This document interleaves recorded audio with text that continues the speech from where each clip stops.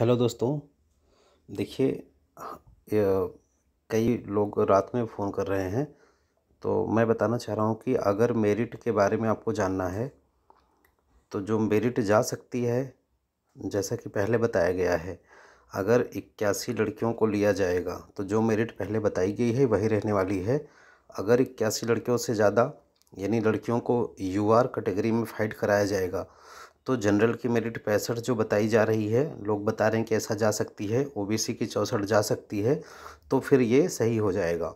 अगर लड़कियों को इक्यासी से ज़्यादा फाइट कराया जाता है तो जनरल में मेरिट पैंसठ के आसपास ओबीसी की चौंसठ के आसपास जा सकती है, इसमें कोई दो राय नहीं है, ठीक है?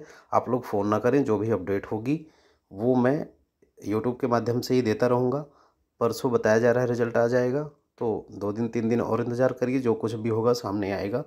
फिर उसके बाद देखना है कि क्या करना है, ठीक है?